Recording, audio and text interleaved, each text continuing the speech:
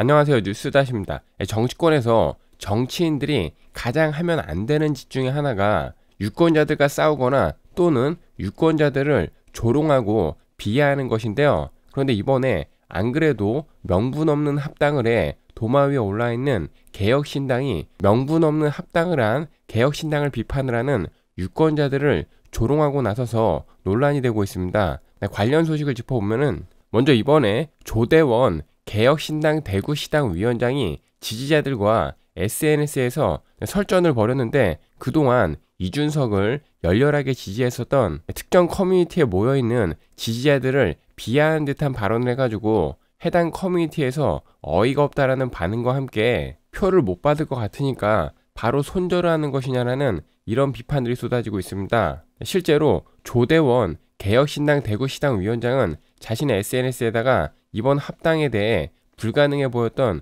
그 어렵고 대단한 일을 완성해낸 이준석 대표와 당의 지도부에 경의를 표한다면서 올려치기를 했고 대구에서 자신의 선거에 유불리를 떠나서 정말로 잘된 일이라고 이야기했는데요. 그러면서 적어도 우리는 개딸이라든가 윤핵관과 같은 극렬 지지층에 휘둘리지 않는 정당인 것을 입증한 셈이라고 이야기했습니다. 그러면서 상식과 이성을 갖고 매 선거마다 나라의 운명을 결정해온 우리 국민의 평균 눈높이만 보고 흔들림 없이 나아가면은 반드시 길이 열릴 것이라고 이야기했는데요. 하지만 조대원의 네, 이와 같은 게시글은 이준석의 코어 지지층들을 비판하는 글이 될 수밖에 없고 그동안 이준석을 지지해온 쪽에서는 이준석이 국민의힘에 있을 때 어떠한 내부 총질을 하더라도 이준석의 편을 들었으며 이준석이 탈당을 하고 나서도 제3지대하고 빅텐트를 치는 과정에서 계속해서 이낙연을 저격을 하고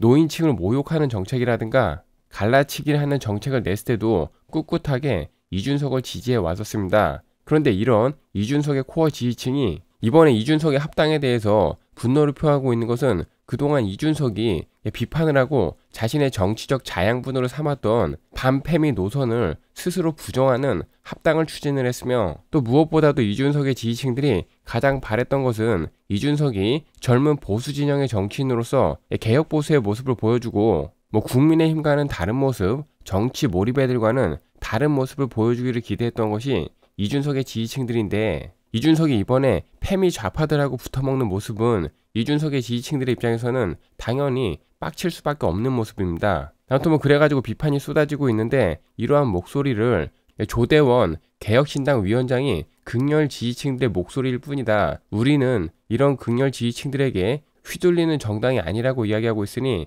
그동안 이준석을 지지했던 이들 같은 경우에는 어이가 없고 뒤통수를 맞았다라는 생각이 들 수밖에 없습니다. 실제로 조대원 위원장의 해당 SNS 글에 대해서 이준석의 지지자들은 어이가 없다면서 지지자를 비하하는 것은 어떠한 이유라도 옳지 못하다라고 반박을 하고 있고 지지율 3% 정당에서 진짜하고 가짜를 나누고 극렬 지지층을 나누고 참 잘 되겠다며 비판적인 반응이 쏟아지고 있습니다. 그런데 여기에서 자신이 한 짓에 대해 반성을 하거나 사과를 하면은 당연히 이준석의 패거리가 아니겠죠. 조대원은 이런 비판이 쏟아지자 한 발 더 나아가가지고 자신의 글이 어느 부분에서 우리 지지자들을 비하하는 건지 이해가 안 된다라고 반박을 했으며 자신의 얕은 지식과 아집으로 제3신당의 총선 구도 전체를 망치고 있는 극소수 극렬층을 통렬히 비판한 것임을 다시 한번 강조하겠다라고 이야기했습니다. 아무튼 뭐 그동안 이준석을 가장 열렬히 지지해 왔던 곳은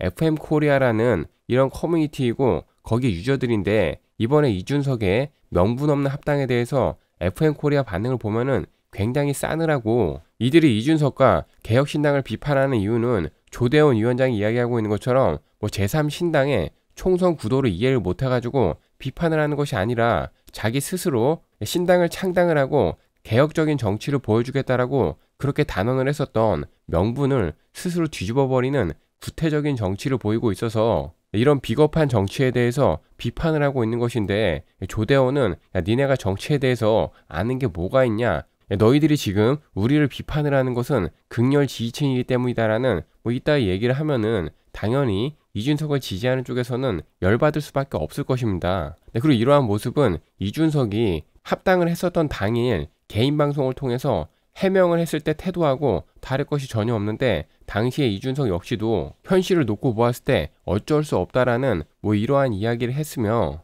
더 나아가서 본인의 지지층들을 가르치려고 들어가지고 그날 해명 방송에서도 이준석의 지지층들이 상당히 분노를 했었는데 이준석과 그의 패거리들이 하고 있는 행동은 뭐 전부 다 별반 다를 게 없다라고 생각이 드는데요. 아무튼 이준석은 물론이고 조대원 위원장의 이와 같은 글을 접한 FM 커뮤니티 사용자들은 일제히 비난을 쏟아내고 있으며 예, 벌써 유권자 조롱이 시작되었다라고 분통을 터뜨리고 있고 예, 조대원은 당에 딱 맞는 후보 수준이라는 지적과 유권자랑 기싸움을 해가지고 잘 되는 정치인은 없다. 남은 지지자들까지도 적으로 만들고 있다. 이준석은 사람 보는 눈이 없는 것 같다라는 이런 반응들을 보이며 개혁신당에 대한 여론이 더 싸늘해지고 있습니다. 아무튼 FM 코리아라는 곳은 그동안 이준석이 이번 합당을 발표하기 전에 이준석이 하는 말과 행동이라면은 어떠한 것이라도 지지를 해왔었고 자발적으로 이준석과 개혁신당을 지지하는 현수막을 게재하고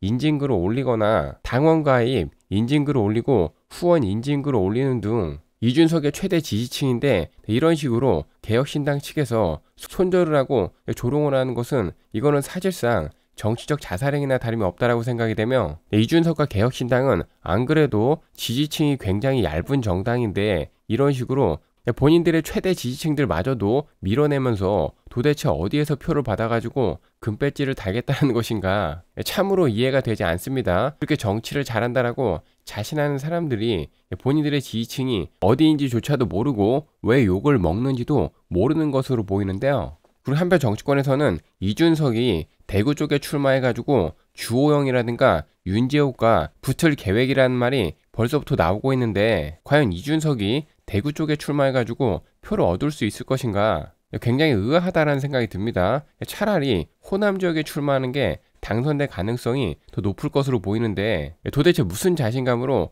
보수 진영의 지지층들이 자신을 지지할 것이라고 생각을 하는지 비꼬는 게 아니라 그 자신감의 근거가 굉장히 궁금해지는 대목인데요. 뭐 이준석 같은 경우에는 한동훈 비대위원장이 정치 참여 선언을 했을 때 자신 때문에 등판을 하는 것이라면은 너무 일렀다면서 한동훈 비대위원장을 저격을 하고 조롱을 했었습니다. 하지만 현실은 이준석은 한동훈 비대위원장에게 완전히 처발렸으며 또 이준석이 창당을 한 개혁신당 같은 경우에는 신당 창당을 할 때 돌풍을 일으킬 것이다. 뭐 이런 식으로 이야기했지만 막상 뚜껑을 열어보니 지지율 3%짜리 쩌리 정당이라는 것이 확인이 되자 화들짝 놀라가지고 합당을 했는데 과연 총선 때는 어느 정도의 성적을 낼 것인가 네, 이를 지켜보는 것이 그 이준석 같은 경우에는 과연 보수 지지자들의 지지를 받아 마삼중을 탈출할 것인가 네, 이러한 부분이 차기 총선에서 관전 포인트 중에 하나가 될 것이라고 보입니다. 네, 둘 중에 하나라도 성적이 나오지 않으면은 네, 이준석은 뭐 정계에서 떠나야겠죠. 이번 소식은 여기까지 하겠습니다.